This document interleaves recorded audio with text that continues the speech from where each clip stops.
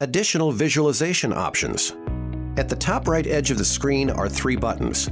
A tap on the button in the middle opens a small menu showing the options to activate or deactivate the visualization of the occlusal force distribution. This represents the occlusal pressure distribution by the sensor zones.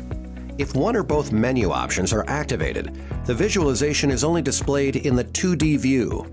The show force distribution in percent option shows 12 percentage numbers for the 12 zones of the sensor. These zones are indicated by the blue lines around the sensor.